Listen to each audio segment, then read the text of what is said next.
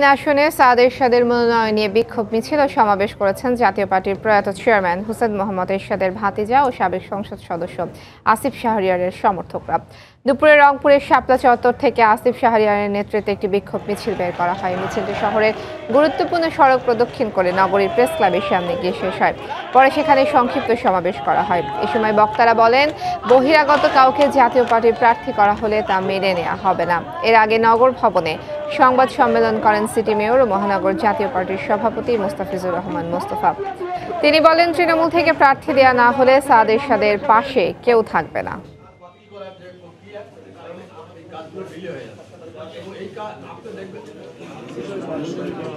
এখানে স্বাদ এরশাদকে প্রোভাইড করতে চাইলে, এখানে চাপাই দিয়ে ক্যান্ডিডেট করতে চাইলে রংপুরের নেতাকর্মীরা কাজ করবে না, মূলত।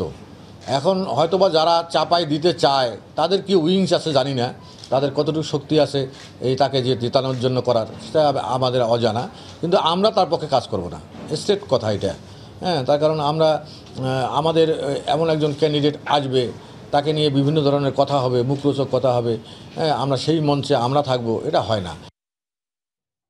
এই মুহূর্তে রংপুর জেলা জাতীয় পার্টির কার্যালয়ের সামনে আছেন রিপোর্টার রতন সরকার এবং রাজধানীর বনানী জাতীয় পার্টির চেয়ারপারসনের কার্যালয়ে আছেন রিপোর্টার মৌসুমী ইসলাম। সরাসরি চলে যাচ্ছি তাদের কাছে। প্রথমে যাচ্ছি মৌসুমীর কাছে।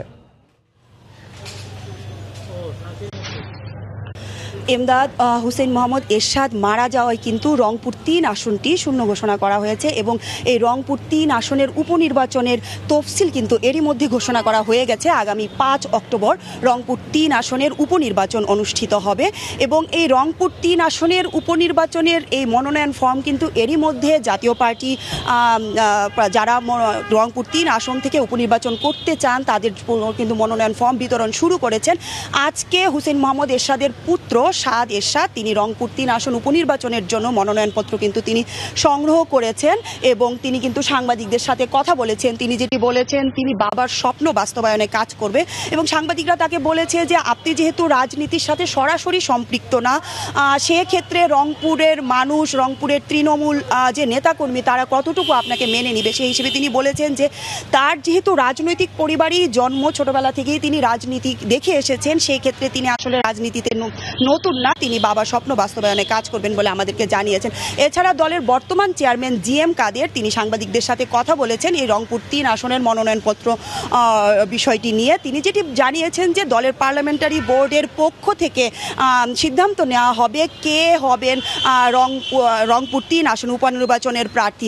এছাড়া মহাজোটের পক্ষ, মহাজোটের সাথে তারা এক হয়ে নির্বাচন করছেন কিনা, একক প্রার্থী পাচ্ছেন কিনা, সে বিষয়টি নিয়ে তিনি বলেছেন। আসলে সরকারের সাথে কথা বলে তারা সিদ্ধান্ত নেবেন যে তারা একক প্রার্থী দিচ্ছেন কিনা, তবে তারা সরকারের কাছে আসলে এই তিন আসনে একক প্রার্থী চাইবেন। যেহেতু রংপুর আসলে হুসেন মোহাম্মদ এরশাদ বা রংপুরে লাঙ্গলের ঘাঁটি বলা চলে। এছাড়া আমরা আসলে রংপুরে আমরা জানি যে গতকাল থেকেই এই মনোনয়নপত্র নিয়ে কিছুটা ঝামেলা হচ্ছে। সেই বিষয়টি নিয়ে দলের মহাসচিবও কিন্তু কথা বলেছেন।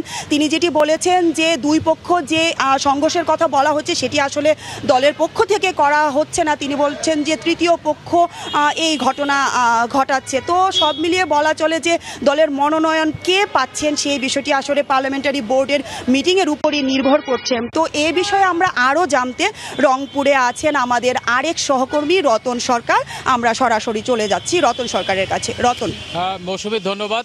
আসলে জাতীয় পার্টির যে এরশাদের শূন্য আসনে নমিনেশন নিয়ে আসলে গত কয়েকদিন থেকেই কেন্দ্র এবং স্থানীয় যে তৃণমূলের সংগঠন আছে তাদের মধ্যে একটা যে একটা গণ্ডগোলের মতো যে বিষয়টি চলে আসছিল, এটি কিন্তু এতদিন প্রকাশ্য ছিল না যেটি গত রাত্রে আসলে এখানে একটি উপজেলা পর্যায়ে একটি ঘটনা ঘটেছে। সেখানে সাত এরশাদের যে কুশপত্তলিকা দাহ করা হয়েছে, এই ঘটনা নিয়ে কিন্তু একটু সংঘর্ষের মতো ঘটনা ঘটেছে এবং সেখানে একজন আহত হয়েছে। এই বিষয়টি নিয়ে থানায় মামলা দায়ের হয়েছে।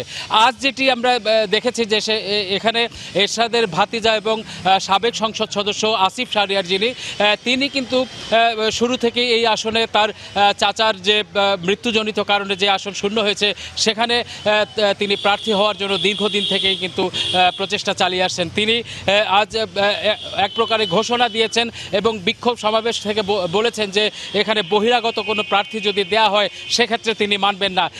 যদি তাই হয় সেক্ষেত্রে কিন্তু আগামী নির্বাচনে নির্বাচনের আগেই দলীয় মনোনয়ন নিয়ে একটি দ্বিধাদ্বন্দ্বের সৃষ্টি হলো।